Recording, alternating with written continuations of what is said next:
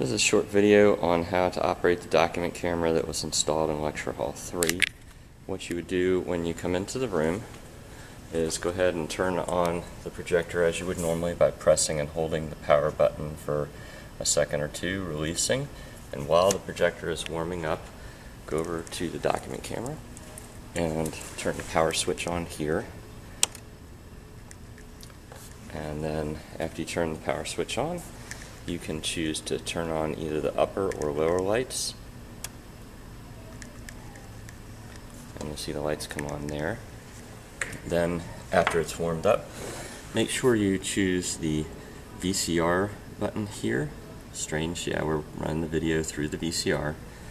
And then, um, what you want to do is just make sure that if it doesn't come up um, automatically, make sure the VCR is on, and that's down here, and that the input is line 2, I believe.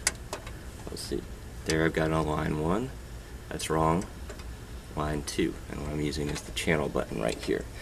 And so, so long as that's in place, and there's also instructions here just in case you need them, um, it will appear up on the screen there.